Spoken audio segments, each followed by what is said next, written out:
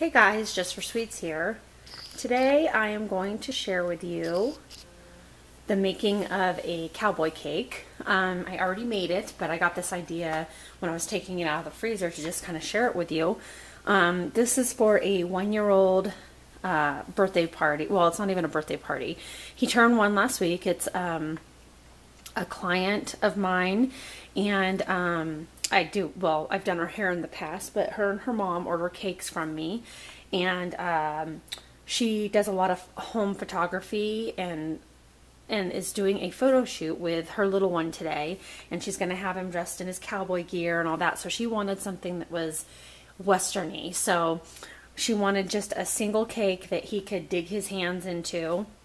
And so I just made a six inch layer cake, two layers and we made a banana cake and put some fresh strawberries and whipped cream in the middle and then um, a vanilla buttercream frosting. But I wanted to make it look kind of outdoorsy, westerny in a kid way, not in an adult way.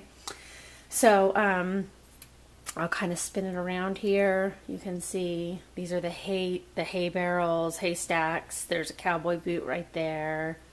Another haystack. Um, then we have a chocolate mustache, kind of a western looking mustache, another cowboy boot, a cowboy hat, and then on top, of course, we have a little pony and um, another cowboy hat with a hay, a hay barrel, and a cowboy, another cowboy boot, and some little rocks. So it was kind of fun. I had a good time with it um, I started playing and I just kept going and going. So if it's a little overboard, it's because I was having too much fun. So I wanted to share with you what I did. So like I said, I did a double layer cake, frosted it, and then all I did was um, I got these chocolate molds online, and this is a cowboy hat and a cowboy boot, and I uh, did my chocolate molds and froze them. And then there was one that had the different mustaches. As you can see, there's still chocolate in them. I need to wash them out. Um, and then I got a 3D pony, which means, you know, you can put it together and then it makes a full pony. Or you can just use one, one side or the other. It comes in two pieces. So I made my chocolate ponies, my chocolate hats and boots and mustache, and did those um, and froze them so that they were nice and set up.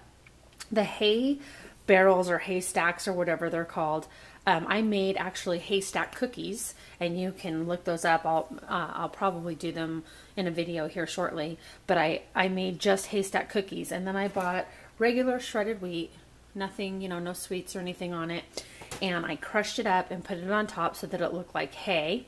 We also took that and put it all the way around the cake. Um, but before I put that down, I put an, a layer of icing so that it had something to stick to. And then I also took some Oreos, just the cookie part, crushed them up so that it looked like there was dirt um, in with the hay. So that's how we did that. And then um, these are little chocolate rocks, and I got those at World Market, but I'm sure you could find them online or sometimes um, Walmart has a, a, container down the candy aisle of chocolate rocks. So um, I did that, and then um, I secured the pony by putting him on a, a lollipop stick when I put them together, I added some extra chocolate, put the lollipop so that he had something to hold on to. I mean, because I didn't want him to tip over while she's doing the photo shoot. So that's all I did. I just set everything around. Everything is shredded wheat, Oreo cookies, haystack cookies, and chocolate.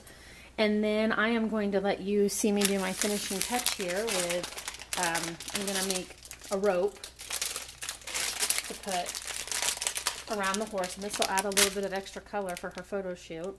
And I just bought Twizzlers, and they're the kind that separate. You can just pull them apart. And sometimes you got to go really slow because they'll break really easy. So we just get some Twizzlers, and we want to make a rope. And all we really need is one one single piece of licorice, a whole bag for one single piece. But I'm sure my children will not mind at all. They'll have a good snack or, you know, something to take to the movies. So all I'm going to do is is loop a little a loop-de-loo in this. So I'm basically just tying you have to be really careful with the licorice because it can it breaks if you pull too hard, okay? All right, so I might even do one more because that's kind of a short rope. So we're gonna pull, whoops, see? Told you it breaks. That's okay though, because we don't need this one to be all the way. So just kind of pull gently. Not too gently, but not too fast. Okay, so that's probably good. And all I'm gonna do is kind of take the two pieces of licorice and I'm not even gonna tie them. I'm just gonna mesh them together. So I'm just gonna kind of take my fingers and roll it around and see how it connects them. Kind of twist it a little bit. There you go. That connected it good enough. So here we have our little rope and all I'm going to do is I'm going to layer it over the horse. So it's kind of laying there. And then kind of circle it back here and I can cut part of it off because it's too long. And you can use scissors. I just use the tip of my fingernail and they are clean. I did wash my hands this morning. All right. So there we go. We added the little rope to it. And there is the end of the cake. So this is how I made a cowboy western cake for a photo shoot and birthday. And if you have any questions, feel free to leave me some comments and ask me. And um, if you have any suggestions on something that I could do a little bit different, I love to hear those as well. I always like the input. Um, thank you for all of you out there, excuse me, who watch my videos. It means a lot to me. And um, if you'd like to, you can join me on my Facebook page. Um, I do have a Just for Sweets page, or you can look under uh, Michelle Wright Galick, and you can add me that way as well. Um, and I would love for you to join me on there and, and leave comments on there as well, and invite your friends to join so that they can check out my videos and um, just see what I do every day. So Anyway, um, if you like this video, please hit the like button, and I hope the lighting is better on this one, Mercedes. It's in my kitchen, so there's a lot more light. um, and uh, if you're not a subscriber, please subscribe. We do a lot of fun things on this channel, and we have a lot of fun. And I hope you have a wonderful, wonderful day. Until next time, next video, God bless.